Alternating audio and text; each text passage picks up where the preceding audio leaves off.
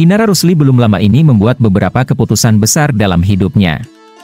Pasalnya, usai membongkar dugaan perselingkuhan sang suami, rumah tangganya berujung perceraian, bahkan demi menafkahi ketiga buah hatinya.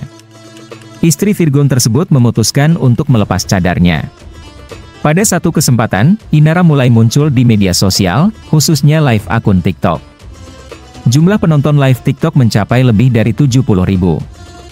Di momen siaran langsung tersebut, Inara Rusli mendapat saweran gift atau hadiah dari penontonnya. Terlihat dalam video yang diunggah oleh akun TikTok Latif, Inara Rusli mendapat gift, pause, berkali-kali. Tak hanya itu saja, ada pula gift dalam bentuk lainnya. Astaga, ini gak salah banyak banget giftnya. Masya Allah, kata Inara Rusli dengan mimik wajah kebingungan. Alhamdulillah terima kasih giftnya, sambil lebih lanjut, saking banyaknya gift yang diterima Inara Rusli, sukses membuat penonton live heboh. Bahkan menyebut jika yang menyawar ibu tiga anak itu adalah para sultan. Kak Inara Masya Allah tembus ratusan juta kak, tulis netizen. Yang nonton sultan semua, tulis netizen lainnya. Sultan Malaysia, tulis netizen lainnya lagi. Sekedar informasi, sebelumnya Inara Rusli mengungkapkan jika suaminya, Virgon pernah memintanya memakai cadar supaya tak dilirik oleh pria lain.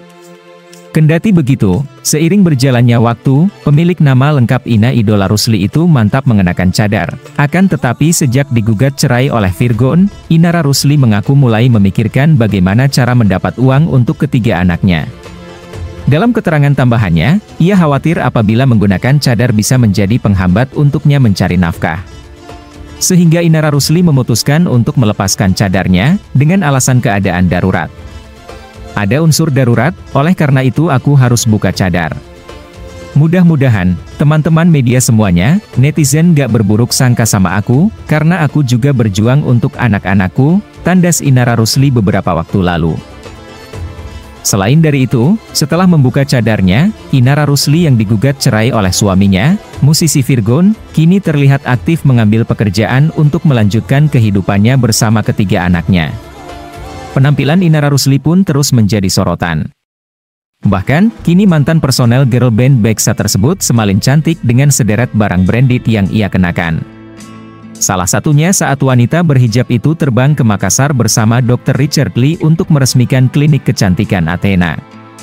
Saat itu, Inara Rusli tampak mengenakan sepatu sneakers pemberian sang dokter yang cocok dengan penampilannya. Cie sepatu baru, bagus banget, pungkas Dr. Richard Lee saat berjalan di sebelahnya di bandara.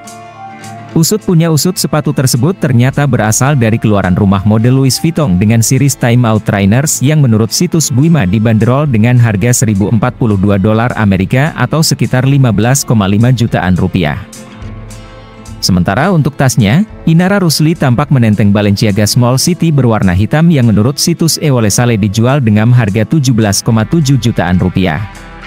Tentu saja penampilan ini semakin sempurna dengan atasan sweater rajut oversized dan rok panjang berwarna krem, serta hijab menutupi dada. Tak sedikit warganet yang juga memujinya, karena tampil semakin cantik.